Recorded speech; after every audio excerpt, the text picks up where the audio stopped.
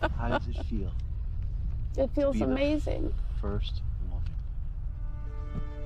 to win.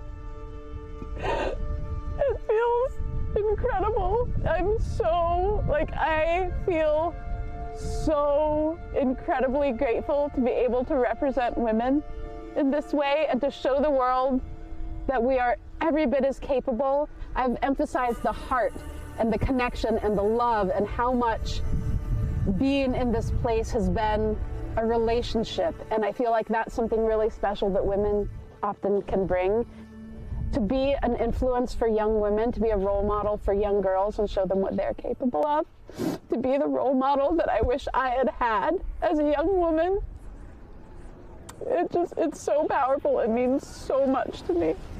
Wow, that was Woniya Dawn Thibeault, the first female winner of Alone Frozen, a show on the History Channel that drops survivalists in the Canadian Arctic with only a few supplies to see how they can make it in near unsurvivable conditions. Woniya is detailing her experience in her debut memoir entitled Never Alone, a solo Arctic survival journey. It is so nice to meet you. That was so incredible to watch that. You could really feel the power in that moment.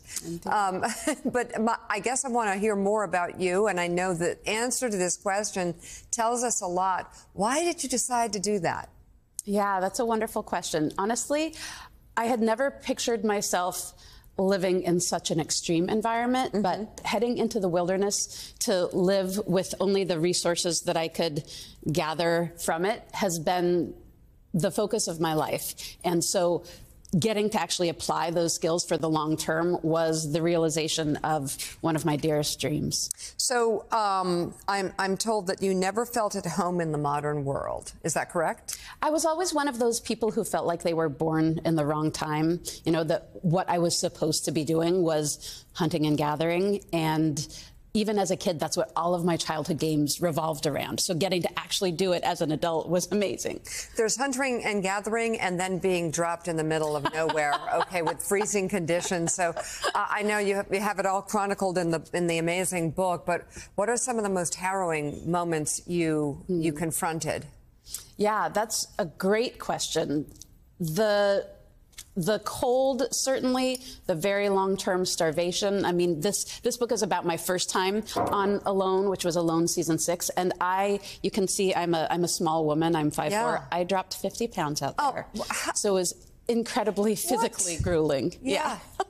That's incredible. Yeah, so those were all harrowing, but the being there wasn't anywhere near as harrowing or frightening to me as as one might think, or as I thought, honestly, going in, because the beauty of the place and feeling so wanted and seen and supported by this incredible wild landscape really balanced all of the challenging parts and made it overall a beautiful, beautiful experience. You're dropped alone in the Arctic, and your takeaway, which you, you write about beautifully in the book, is that this experience brought on you more healing than suffering. Can you mm-hmm. explain that? Because you were potentially freezing to death and starving to death.